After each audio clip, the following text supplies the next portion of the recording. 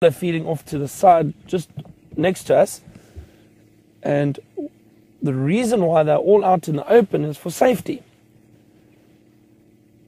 They can find some food out here, and it's much easier to look for or keep an eye out for potential predators if they are out in the open.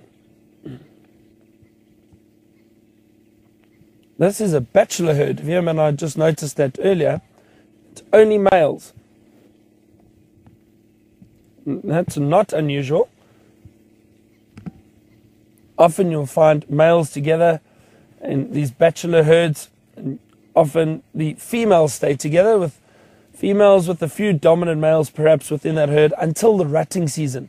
Then these males will challenge each other and try and set up a small territory that they may keep a group of females in that territory and mate with them. But through the rest of the year, they will mate, uh, they will stay together like this in bachelor herds.